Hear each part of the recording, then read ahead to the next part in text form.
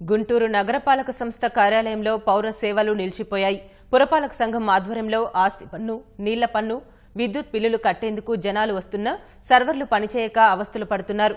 రెండు రోజుల నుంచి తిరుగుతున్నా కంప్యూటర్లలో లోపం వల్ల ఇబ్బందులు పడుతున్నామని చెబుతున్నారు. సమస్య పరిష్కారానికి చర్యలు తీసుకోవాలని డిమాండ్ చేస్తున్నారు. వాటర్ పన్ను కట్టడానికని లాస్ట్ మంత్ నుంచి వస్తున్నాను నేను. అయితే ఇక్కడ సర్వర్ పనిచేయటం లేదంటాం క్యూలు నిలబడి ఉండడం చూసి మళ్ళీ నేను నిలబడలేక ఇంటికి తిరిగి వెళ్ళిపోతా ఉన్నా. ఇవాళ పొద్దున్న వచ్చాను. ఇవాళ నాలుగైదు గంటలు నిలబడి ఇప్పుడు కట్టాను ఇప్పుడు అయింది. ఇక్కడ అధికారులు ఏం పట్టించుకోవటం లేదు.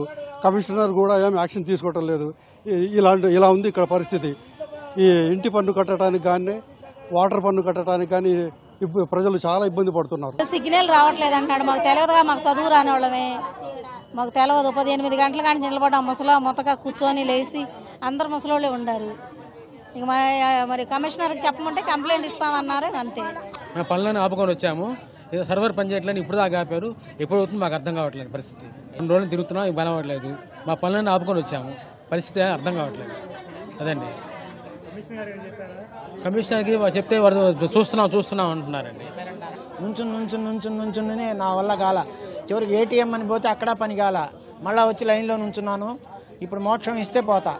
ఏం చేయట్లేదని చెప్తున్నారు ఆపేస్తున్నారండి వచ్చిన వాళ్ళని అట్లా అయితే ఎంతసేపు పట్టుద్దండి ఒక్కొక్కళ్ళకి?